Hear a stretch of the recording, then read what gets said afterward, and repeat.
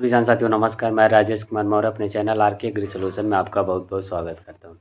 किसान साथियों इस वीडियो में बात करने वाले हैं नवंबर, दिसंबर और जनवरी में पत्ता गोभी की कुछ इंपॉर्टेंट वरायटियों के बारे में। तो वीडियो को अंत तक बने रहिएगा, ताकि आप लोगों की एक वैरायटी के बारे में जानकारी मिल पाए। और एक चीज़, अगर आप लोग हमसे जुड़ना चाहते हो तो डिस्क्रिप्शन में आपको हमारे व्हाट्सएप ग्रुप की लिंक मिल जाएगा, आप वहाँ से जुड़ सकते हो। हमारे पास बीज भेजने की सुविधा है तो वहाँ से आप लोग बीज भी मंगा सकते हो। अगर आपके यहाँ मिल जाता हो तो बेहतर है, अगर नहीं मिलता तो आप हमसे भी ऑर्डर करा सकते हैं, ठीक है? तो चलिए एक एक करके आपको सभी वरायटियों के बारे में बताते हैं।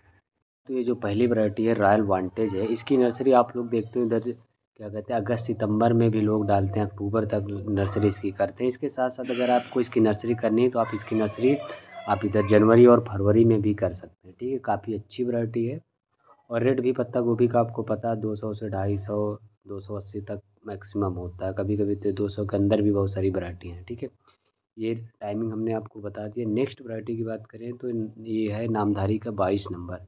काफ़ी अच्छी वैरायटी ये भी अगर आप लोग इसको भी लगाना चाहते हैं तो ये भी लगा सकते हैं। इसकी नर्सरी इधर नवंबर और पूरे दिसंबर पड़ती है और बहुत जगह तो इसकी नर्सरी जनवरी में भी करते हैं। तो अगर आप लोग लगाना चाहते हो तो इस तीन महीने में आप इसकी नर्सरी करके लगा सकते हैं।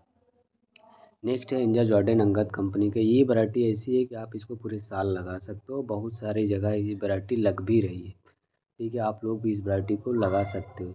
ये सारे सीड्स हमारे पास मिल जाएँगे। अगर आप लोगों को लेना हो तो डिस्क्रिप्शन से आप जुड़िएगा, वहाँ से आप सीड मंगा सकते हैं। चलिए नेक्स्ट वरायटी पर। नेक्स्ट है इंडन दो सौ छियानवे इंडो अमेरिकन की। ये भी हमारी कंपनी वाले से बात हुई थी बोले, भैया, लोग ज़्यादातर इधर ठंड और में ज़्यादातर लगाते हैं। इधर अक्टूबर, नवंबर से शुरुआत करते हैं और इधर जनवरी, फरवरी तक ये भी लगती है वैरायटी। बट इसको आपको बता दूँ, ये भी पूरे साल वैरायटी लगती है। बहुत सारे किसान साथी इसको भी लगाते हैं।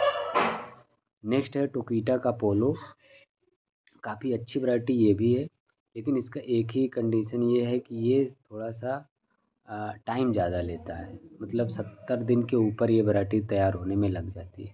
और सारी वैरायटी जो भी बताऊँ, साठ से पैंसठ दिन बहुत जाएगी तो सत्तर दिन। मैक्सिमम साठ से पैंसठ दिन में आप कटाई शुरू कर दोगे। तो ये रहे कुछ इंपॉर्टेंट वैरायटियाँ किसान साथियों। और, आ, इसके अलावा अगर आपको कोई जानकारी चाहिए तो आप हमें कमेंट करिएगा तो वहाँ पे हम आपको सारी जानकारी दे दूँगा और भी चीज़ें, अगर कोई और चीज़ के बारे में जानकारी चाहिए तो। ठीक है? बस आज के लिए इतना है। अगर वीडियो पसंद हो तो वीडियो को लाइक और शेयर ज़रूर करिएगा। धन्यवाद।